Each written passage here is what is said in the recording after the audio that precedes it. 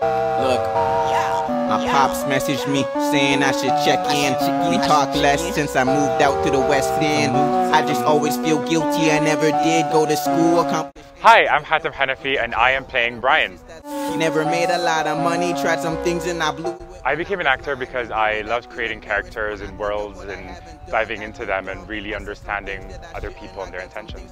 But I'm learning on the job, got a trailer, I call home, I The actor I admire most is Denzel Washington because he has an incredible range and he does it all with so much ease, but you, you, you don't see the craft behind it, but you know that it's there, and I love that about him. Hope my siblings are okay, I saw some pictures, they look happy. Brian is a well put together guy who is trying to figure out how to support his cousin, Kwame.